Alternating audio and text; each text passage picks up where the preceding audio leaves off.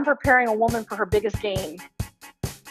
So many games in her life, and I need to get her ready in the headspace and in the and feeling the best that she can, so she has the strength and and um, the beauty. Do you know what I'm saying? To really own that moment and enjoy it.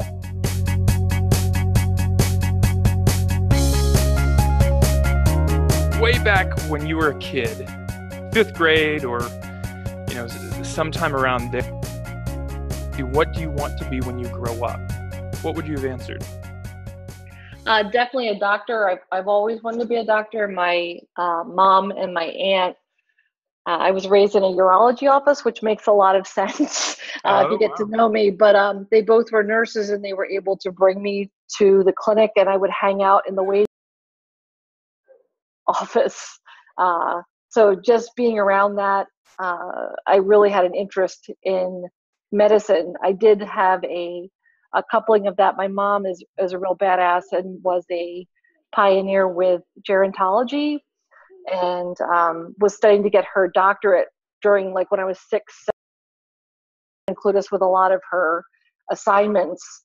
And she ultimately opened an adult daycare center with a child care center, which I think was 10,000 square feet. It was a big business where the one side would be a child care center and the other side would be uh, the adult daycare center. And they would do uh, things with themselves. Like they would, the kids would play with the older people, which I think yeah, there's been a lot of research on that lately where that is good yeah. for both parties, good for the the elderly as well as for the kids.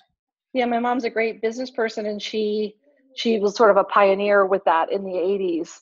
And so that's where I would go to work with my mom. So I wanted to be a gerontologist. I'm actually my associate's degree is in gerontology.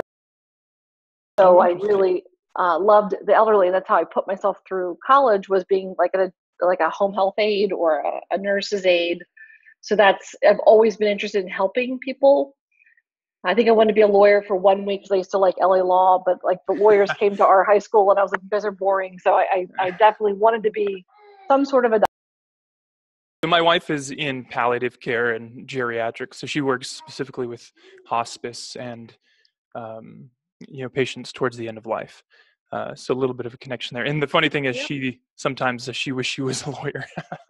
yeah, yeah. I have sarcasm as uh, as my default, so I thought I'd make a great lawyer for a week. But uh, in, in hospice is like one of the greatest honors in life, and it's funny because in terms of chiropractic, that's not a population I enjoy to treat at all. But I love I love older people, and I'm becoming one of the older people. So um, they just they're so appreciative and they're just uh, they're so easy to make their day. So it's it's just a great population. Their wealth of knowledge.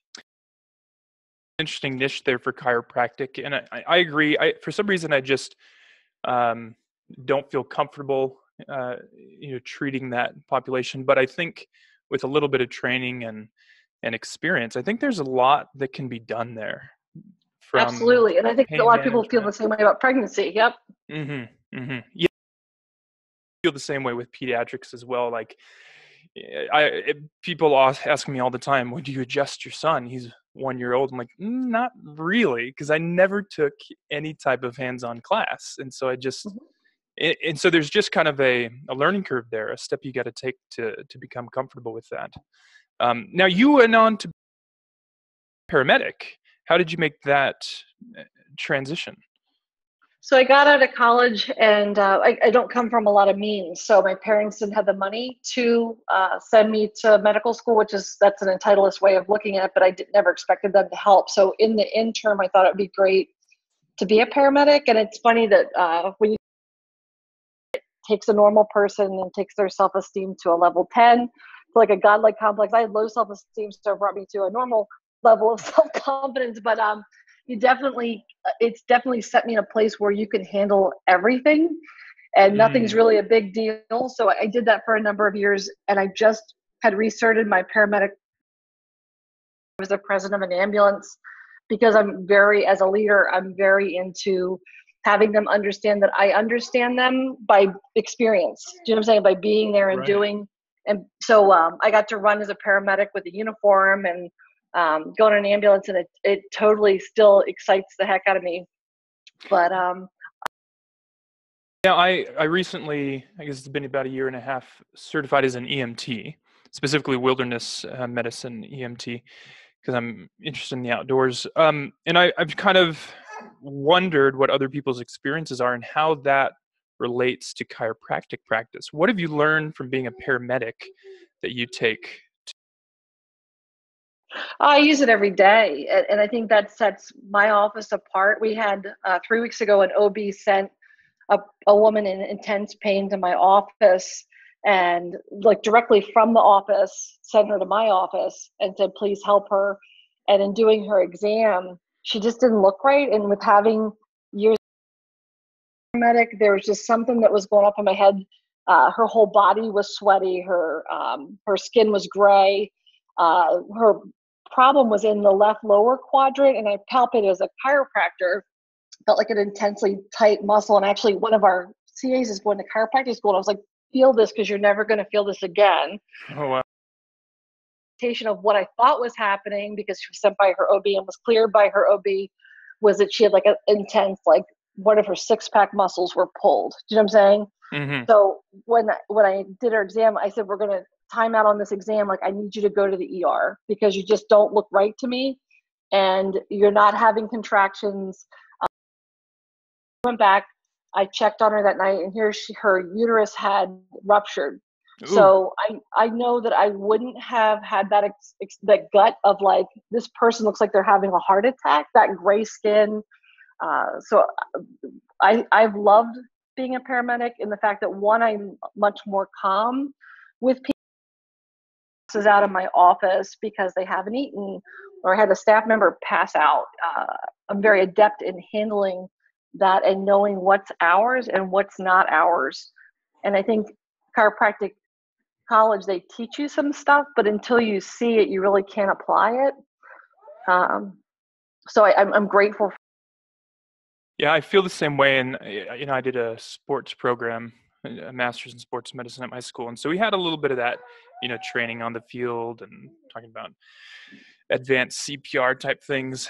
But I agree. Um, once I did the EMT program, I was like, man, I really, really didn't know anything as far as that goes. So is that where you feel you've you've imagine as a paramedic, you're seeing people uh, in pretty nasty injuries, pretty bad states uh, with internal medicine conditions, perhaps even close to dying. Did you have all, all the time? All the time. I ran in Elizabethtown, Pennsylvania. I've been looking for people's heads that jump off. Uh, people have heart attacks right in front of their spouses. Um, just really hard stuff to sit with somebody in that space and returning to it at 43 i'm 45 now but returning back to it one of the reasons i quit being a paramedic is i had a baby and it's not the physical limitations of being pregnant and having a kid but my heart changed it still carries with me as a paramedic today if, i mean as a chiropractor because if somebody's in immense pain my heart physically hurts. And i used to be able to stick kids. I could do ios which is like a, a iv into the bone no problem. But as soon as I had a baby, like I couldn't run a SIDS call or uh, do a baby dying. Like it would viscerally hurt me, and it's sort of a buzzkill to have the paramedic on scene crying when your kid fell down. This like you need to be like detached. So coming back to it at 43 and having now a 20 year old and an 11 year old, I don't have a baby anymore, and obviously I'm not postpartum, but that has never gone away. I've always it still physically hurts to see people in pain and even deeper than that like to walk into somebody's apartment and they're 80 years old i put myself in that situation where it's like they've had a whole life together. Like you walk in with your gurney and all their memories are everywhere. Do you know what i'm saying? And he's dying and she's Yeah. gonna be alone. Uh, so the stuff we do as chiropractors is equally deep and you can change their life in a different way. But going through being a paramedic first that definitely took the edge off where like this is no big deal. Like i know this is a very big deal to you right now you know and and and, and, being like there's bigger things and not minimize but as a provider being very calm and saying you know like this is i got this. I've delivered 10 babies. So like sometimes patients will say i want to get lined up before i you know go to the birth center. And my team is like having a conniption because they're like, oh my god, they're gonna have a baby right in the office, and I'm like, if they do, we're good. Like I'm I'm certified Yeah. to do this in Pennsylvania.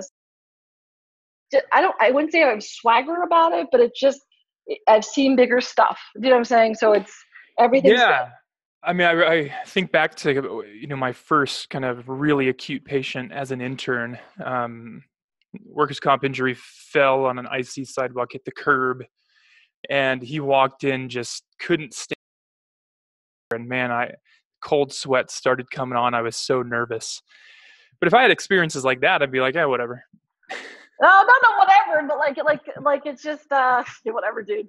No, It's I a- wouldn't be like that. But it's just like some people like think. I don't. I don't know. Like when patients tell me stuff and that sort of thing, I've seen worse, and I always try to like better that way. Where it's like I've seen some horrible stuff. I've seen people die right in front of me that I know as a mom, or in front of their Mm. kids. Like that stuff makes what I do easy. Do you know what I'm saying? And, and not hard. Yeah, and I'm sure i you know externally you you express the empathy for those patients, but internally you know that- dude? worse, even though for Yes. them it's a it's a big issue. Yep. As now you have a, a book, um, what you don't expect when you're expecting. Um, you as a chiropractor, you treat lots of pregnant women in your practice, but your path to becoming a chiropractor, especially one who specializes in pregnancy, happened. In your book, you write, "I'm the least likely person to specialize in pregnancy. I don't adore the birth process."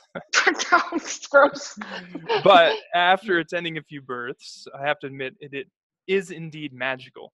So, mm-hmm. and then you mentioned as well you have severe misophonia, so you hate sounds like cracking joints. So, as the least likely person to become a chiropractor who specializes in pregnancy, how did you get there? Yeah, it was, it was due to my daughter. So I, I became a chiropractor because of my older daughter that's now 20 and she's uh, at Ithaca College. Like she had broken her leg when she was your child's age, and uh, we kept taking her to different doctors. Her leg when she's four, or we'll shoot her up with some Botox because she limped after she got her cast off. And so I was terrified to take her to a chiropractor. I actually used an expletive and said, somebody said, "Have you ever tried a chiropractor?" I was like, "You something kidding me?" And um, because I thought that they were just, I don't, I thought they were like podiatrists of the spine. Like I had action was, and when they restored my daughter's gait in one visit, I was like, "Damn! Like this is magic!" And I wanted to fix all the kids with limps. So they didn't have to go through the same stuff of people stopping them in a store and saying, "What's wrong with your kid?"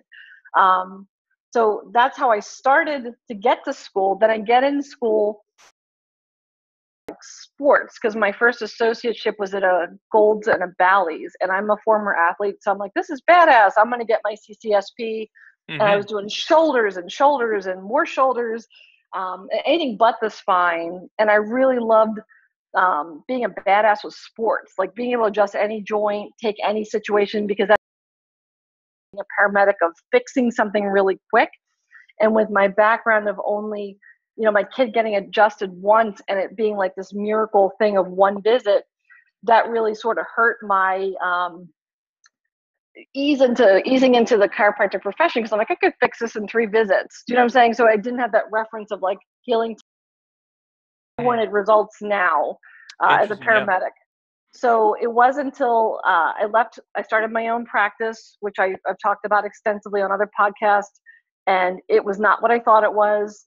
And it took me about, I think we started our practice in 2003, and it took till 2004 to stabilize financially to be able to afford a second child because 80 hours a week with a four year old and dragging her to the office and she would sell pillows and like we made the best of it but it wasn't an ideal situation so when we finally got kind of stable we started having our second child and at 17 weeks i was adjusting somebody's foot and something popped and i had a problem. and i went to the front of the office and i said i think I, i'm like having an issue without getting into tmi or whatever and uh, my office manager like you have to go to the hospital now and i said well let me finish with these five patients and then i'll go because i felt bad that they're waiting so here she had to call my husband with my daughter who we worked together he had to come in the office and i'm like as my office manager is taking me to the hospital. Do you know what I'm saying? And he can't go with me because we own this practice. Right. So someone's got to take care of the patients. Somebody's got to take care of the patients, and that was really hard for him. So okay, so we, my office manager. I want to leave that as a cliffhanger real quick because we need to back up and clarify a few things. First of all, sure, you're in practice with your husband. And while you were a paramedic and you had your first daughter, Allie, so this was before you became a chiropractor and before he did. Now he was a medical doctor, and you met yep. at the hospital. Okay. The hospital. Yep. And you take Allie to get her leg fixed. Well, what what seemed like it was her leg, but you kind of because then you both Sorry. became chiropractors. How yes. do you go from both being in? Eh, so he was practicing as a medical doctor here uh, in, in No, he was working. He was a he was a uh, medical doctor in Russia for seven years. He had his own practice. He was a ship doctor. He had a very extensive. In Russia, it's actually interesting. to serve in the army. So we have a really cool picture of him with an AK-47 to say pay your copay but um he and I, like when we had that cathartic moment with chiropractic, and my husband, it's funny because he's from Russia, so they lost their entire economy. My husband's family was very mm. rich. They had a lake house, they had cars. Um, they lost everything when the wall went down. And so basically, as a doctor, he wasn't able to have access to economy got so bad. So as a medical doctor, you, if somebody comes to you and you're like, dude, you have a gallbladder problem or you have a heart problem and you can't get access to medicine, what good are you? Do you know what I'm saying? So I think he had turned to more alternative stuff like laser and massage. And so that's what, when I met him, he was working in intensive care. We were drawing blood, doing EKGs, doing was our job. So I worked in the ER and that's how we met. So when this cathartic thing happened with our daughter, we dropped everything and moved to Kansas City, Missouri my mm-hmm. parents thought we had lost our minds. They were furious because I took their only granddaughter away 20 hours away from them. We bought a like a bankrupt house. Um, like I think literally everybody thought like you guys have gone crazy. Um, so it just it's it, we were passionate about because we had suffered so much with our kids. You know what I'm saying? And it was like, damn, this makes sense. Like I can be a doctor and not that I, like being a doctor is a big thing but i could help people you know i could help people and he could use our hands and we, we don't need electricity we don't we have ourselves you know we can just do things with our hands. So so that's how that happened. That's a big decision to happen just after one adjustment. Yeah and it, as i said it really messed with you know in terms of um, my expectations with chiropractic you know what i'm saying? Is it, it it's not like we're going to put weeks and two times a week for four weeks. That to me took a lot of time and i'm still not there because uh, i got really good at what i do and got quicker results in getting a problem under control but it's taken uh, an evolution for me to understand wellness and to understand the um, the benefits of wellness that are not organic organically derived so it, it's been a process just for myself to, with that it's so fascinating to me. You kind of, um, you know, on, on podcasts and, and anytime someone asks me about becoming a chiropractor, I encourage people to sit down and think about it. I mean, it's no secret that the profession is a lot of ways, right? Uh, students come out of school with lots of debt and no business pretty, skills. Yeah, no business skills, low earning potential compared to other professions. Um, poverty so I, complex. So. Yeah, and I say, you know, think about it long and hard. If there's anything else that you think you would enjoy doing, you probably should choose that. Oh, dude, dude, dude. That's yeah. They should visit offices that are successful. Do you know what I'm saying? And, and we, we have people visit us all the time, and we we'll tell them like chiropractic is not for the weak. You, right. you have to be able. Uh, we like to give them the chance to see a successful office and there's a lot of time when you're a student, especially undergrad, you can go out, or even if you're in school and decision, go visit as many offices as you can and learn everything that you can while you're there. Uh, if you're in school, like you're in school, you know what I'm saying? You're on that path and you've already made the decision. But we mm-hmm. encourage, like, we go and speak to high schools and colleges. We're very upfront with how hard it. It's not easy. It's not easy to be a medical doctor either, but it's not. It's really chiropractor that's not mm-hmm. for everyone. So, so despite my recommendations to think long and hard about it, I find that from the people I've interviewed on this podcast, who are successful doctors, most of them just made the decision on the spur of the moment. Um, I had a year or two ago who's really well known, has two textbooks, um, Clinical Reasoning in Spine Pain. I mean, for him, it was just, hmm, I think I'll do this. And that was his decision. It's kind of similar for you and your husband. Just one in experience said, okay, we're going to do it, and no turning back. So I find that so fascinating, and it makes me ponder. Yeah, it's a big decision, and I don't.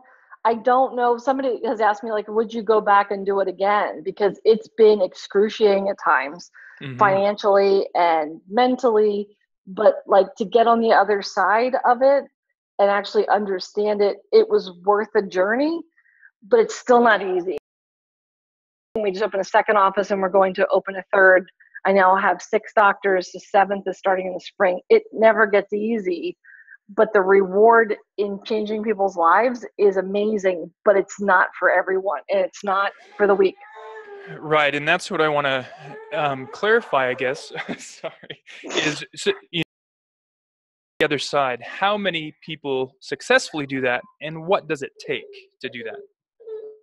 it takes grit like it takes straight up grit like if you don't have i think that that's the delineating factor when we bring somebody in and they're considering physical therapy school versus chiropractic if you don't have grit or resilience this is not the profession for you if you this is not the profession for you and it's funny because i'm not a person that likes to be different and i have a lot of chiropractic friends that really relish being different like they, they like being an outsider they like being different um, I hate it. I absolutely hate being different. I want to be accepted.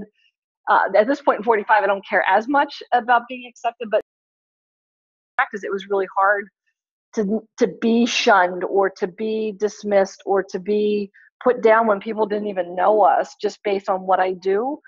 That was really hard for me. And I think if you don't have the wherewithal to be cool with what people think, this is not the profession for you because you have to do your thing. A big need winners focus on winners and losers focus on winners.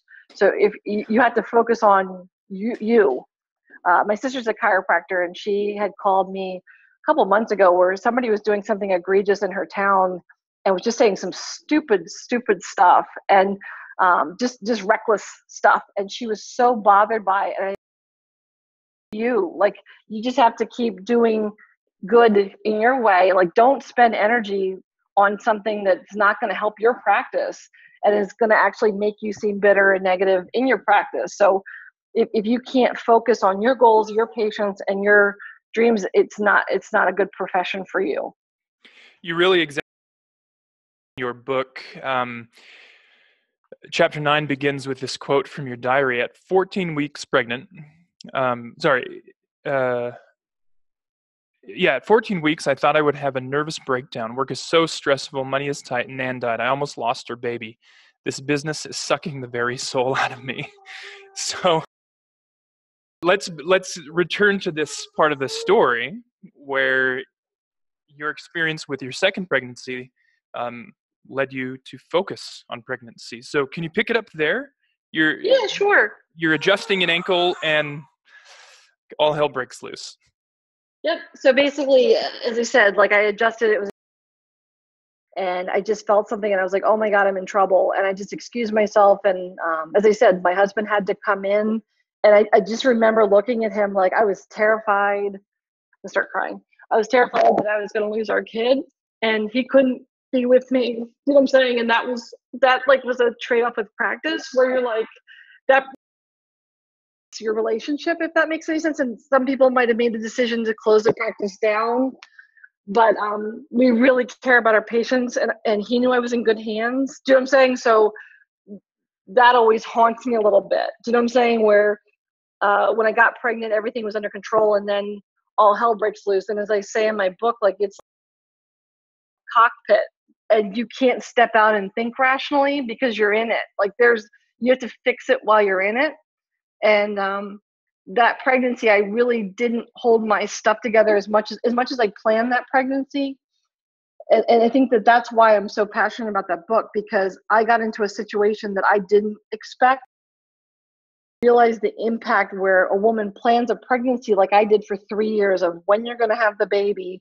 And people were telling me that doesn't happen where you just get pregnant when you want. And some people struggle with that. Luckily, I, I wasn't one of those people.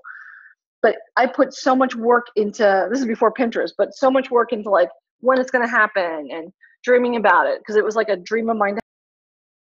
Sudden, they're like, nope, you can't bring in income to your practice. Like it, that stops overnight and you have to make a decision between keeping your household going with your other child and being able to feed your other child and risking the baby that you have inside of you uh, to work. Do you know what I'm saying? And that's that's a gut check. So um, I second pregnancy in terms of being stressed out because mm-hmm. I didn't know how to operate. I was seeing three fourths of the patients. My husband was seeing a quarter of the patients. And I was also running the office. My husband has never run our office. So just having that responsibility and not knowing how to transition those patients to a provider that for myself, even though he's my husband, I realized like, holy crap, what a what a bad spot to be in. That you have to choose between supporting your family and going under and taking care of yourself and your baby.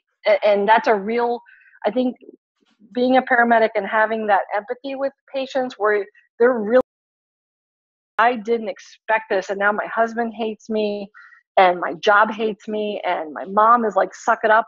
This didn't happen with you. Like, why are you being so weak?" This is this is the stuff I hear every day, and then they go for support with their OB, and the OB is like, "This is totally normal," you know, and and they're in agony, and to to be able to connect a is extremely similar to sports, and I think that's why I get high on it because because I'm preparing a woman for her biggest game you know she only gets so many games in her life and i need to get her ready in the headspace and in the and feeling the best that she can so she has the strength and and um, the beauty do you know what i'm saying to really enjoy it as much as labor is not enjoyable but yeah it's not. it's not you know but it, it the, the movies beautiful. really do a disservice they do but like it, it's it's it's that's the magic of life you know i don't think there's any like you were talking about your wife being in hospice that there's a beauty in that. There's a beauty in in the and if i can get her in a headspace where she's strong and she feels really good and she had a good experience and could bond with the baby instead of being like this thing's killing me or this thing's like killing my back and i can't work and and and all the cortisol with cortisol in their in their system do you know what i'm saying? Like getting them in the best place they can to that's magic. I really love the story you share of a, a patient who came in while she was pregnant and just had severe neck pain and it was the simplest solution that you discovered. Um, yeah, it was top 10 that was like a top 10 moment because like if i could just die with do you know what i'm saying like she was literally about to shoot herself and just she she became like we became really close because it was such a simple solution and um, it, it, was something that she wanted so badly and, and to be able to get her in a space where she could think clearly was awesome. There's that story. I mean she came in and she just couldn't even look at you. So much yep. pain. And within a few minutes yeah, she her mom actually had to drive her, and she was, you know, being a paramedic, she was like bordering on a mental health emergency where she couldn't stop shaking, and she was just jumpy, and she was crying, and she had these debilitating migraines. Uh, she had been a cancer survivor. She did a lot of IVF. She had egg. She had egg donors, so it was a very expensive pregnancy that she had tried she wanted to carry those babies and they were her husband's babies and um, she was having these 10 out of 10 migraines and she was a professional woman. She wasn't able to accountant on working she was a designer so and, she was uh, pregnant with twins. twins twins yep. So because she, she had an egg donor and she had ivf and this is something she dreamed of it and within i think she said within nine weeks she started getting these 10 out of 10 migraines that she had never had in her life and during her exam, I, I mean, it's just as a chiropractor, you notice, and you're gonna, this is how big her chest was. Like she had a ginormous chest and I, I asked her what her bra size had been and she looked at me through the glasses like what the heck are you talking about but she had gone from a, a normal bra size to like a double f if i remember straight uh, just because it increased volume of all the hormones that they had her on for the ivf so here's what woman who is perfect weight and gets pregnant and is on hormones and has these ginormous breasts with this tiny frame that's pulling on her SCMs and her traps. And uh, it made total sense. She had been going to a chiropractor, refusing to have her neck done, which is cool. We respect that in our office. And I said, but there was others. But she had a ginormous first rib subluxation.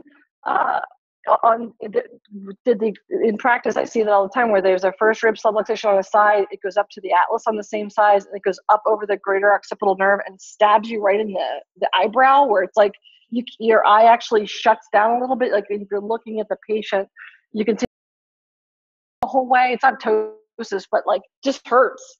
So when when i brought her sunglasses she had the whole package of that so I had not only referred her after her adjustment where I adjusted her first rib and she sat up and she's like, my pain is completely gone. So I didn't even have to do her neck. Uh, but I sent her to Nordstrom to get a decent fitting bra, you know, to support that so it's not pulling on her upper back so much. That's amazing. Um, now, what was it though about your experience? Lost a child while you were trying to, you know, just started up this practice. What was it about that that led you to become passionate about treating pregnant women? yeah just like i said i think it, it tied into like that realization of being in a situation where you can't practice you know or you that i think i think the the turning point where it gets me in the decision a woman makes between her job and her child and that's a hard it, it sounds like it's a no-brainer but when you're in it and your husband makes comments like we're not going to be able to support ourselves or we're going to lose our house or we're not going to be able to like in our situation we, we wouldn't feed our kid. Um, that's a really like you have a kid that's here.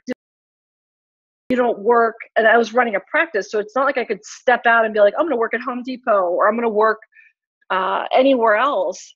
I had to continue on what i'm doing. I had to keep that practice going or we're going to be in deep financial stuff. So how do you how do you make that decision in your mind of getting to to still generate income and not kill yourself so uh, that's where the gut check of like I'm going to fix this.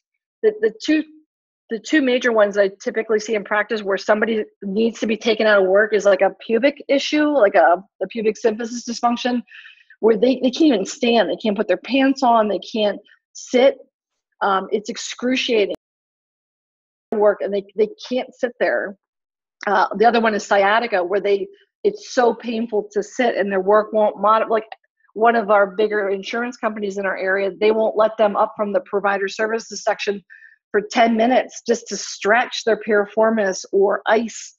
They won't let them do that. So they have to decide whether or they're going to lose their job. And I think again, tying that in, like I miss my sports people. I, I love adjusting athletes, but there's a if you think about it, there's an element of that, and that's where I developed that Bloom program. Bloom program is basically CCSP protocols extrapolated to pregnancy that's safe.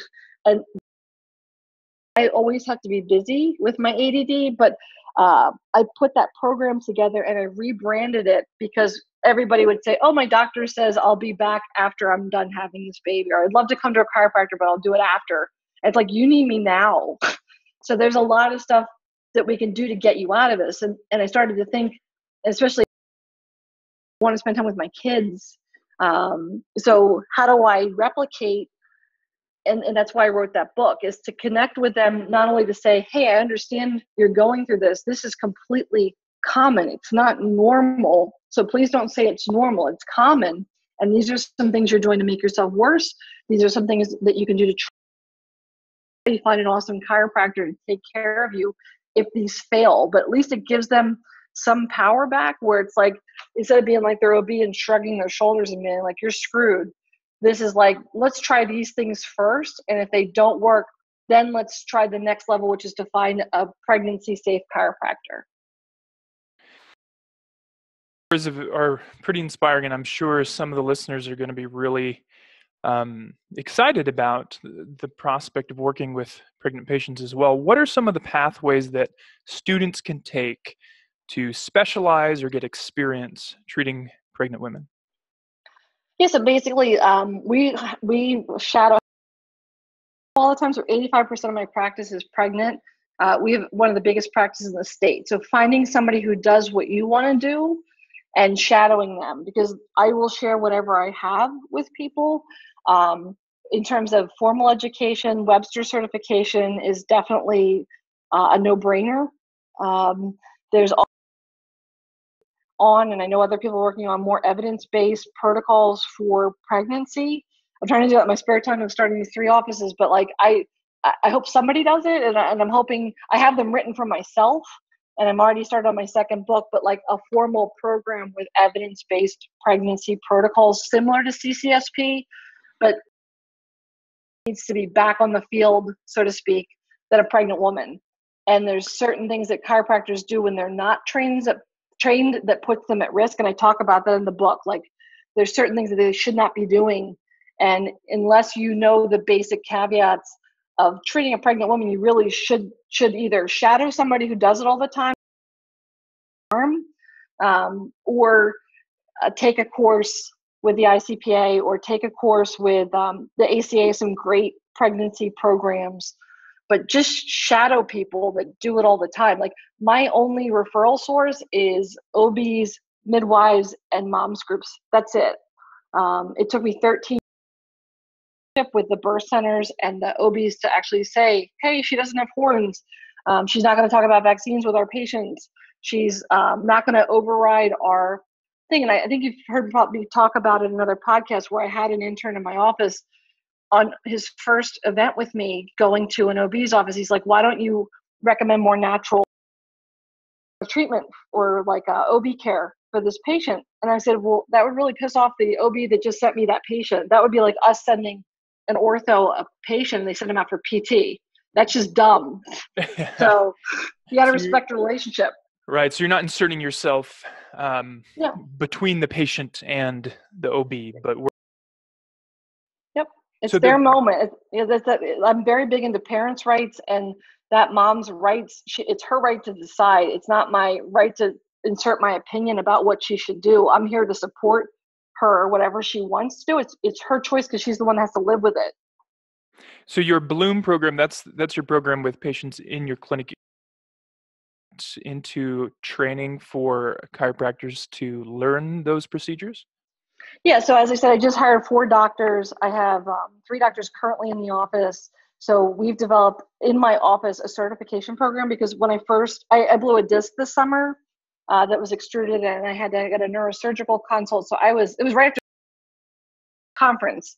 Uh, I could not use my arm at all. It was cold, so I had to develop quickly a way to certify my doctors that I was confident, the new doctors, in taking care of uh, pregnancy patients where my OBs would be cool with them seeing them, that they did everything that I did. So I'm developing office if they're certified. I also have a program built for our new doctors. It's already built out uh, for our doctors to be certified on our culture and our philosophies, and that's uh, that's not negotiable. So when a when a doctor starts with us, they I'm very transparent that this is the way that our office believes. We're very evidence based. Um, we're very treatment plan focused, patient focused. So th- this is the way it is. And building a program for them that they can learn once we establish that the patient is first. Um, we're not, yes, we're doctors, yes, we have authority, but I want to do what's best in that patient's interest, even if it's not me. You know what I'm saying? And, and that's that's the culture of my practice, and it's been very successful. That's great. Well, I'm um, certainly grateful for the opportunity to read your book. I appreciate getting a copy of it ahead of time, and it's.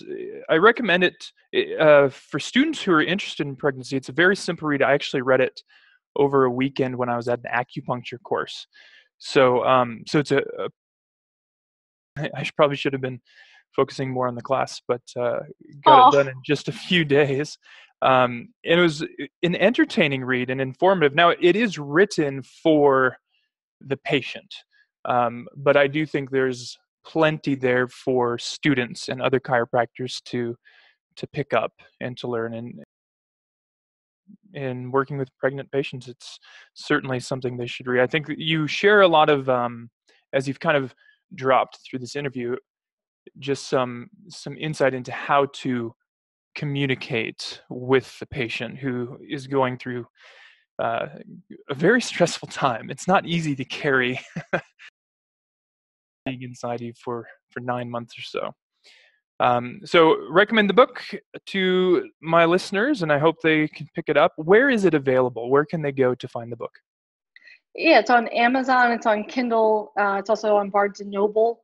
Um, and as I said, I'm building out right now a program for chiropractors comfortable with pregnancy. I think that that's crucial. There's some just down and dirty rules. And also, I think the book would be an excellent primer because I basically give away all my secrets in that book to help the patients that are safe. Obviously, chiropractors can do a lot more with adjustments, um, but the, the, the money, like in terms of the pubic symphysis stuff I have, I learned for MD, and that has been golden in my practice. Obviously, it's at the right um, communication style because you're touching a sensitive area.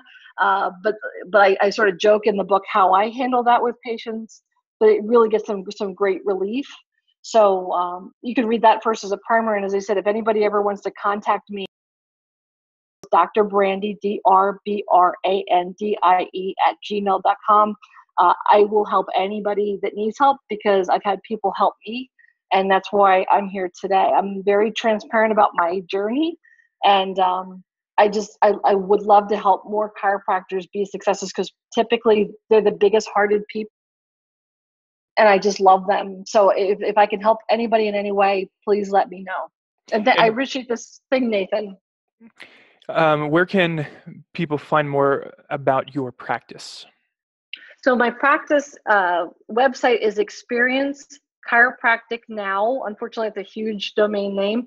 Uh, practice, and then uh, that's my practice. With the we're updating it with the second location, and uh, we have a second location. I'm, I'm here today in Conshohocken, and the third office will be in June. Um, so as I said, I have six current doctors, and we have a doctor starting with an internship in March, and she'll be my seventh doctor uh, in April. So uh, very exciting um, of growth, which is awesome. So uh, I'm very excited about our future next year with these doctors. They're great. Great. Well, thank you so much. Thank you so much, Nathan. I, I, appreciate your time, and it was nice to have your child on here. yeah. No, I think that's really, I think that's really cool because like that's what we do. You know, like. Uh, uh, I, so uh, it was awesome. Thank you so much. Really appreciate it. Hope you have a great.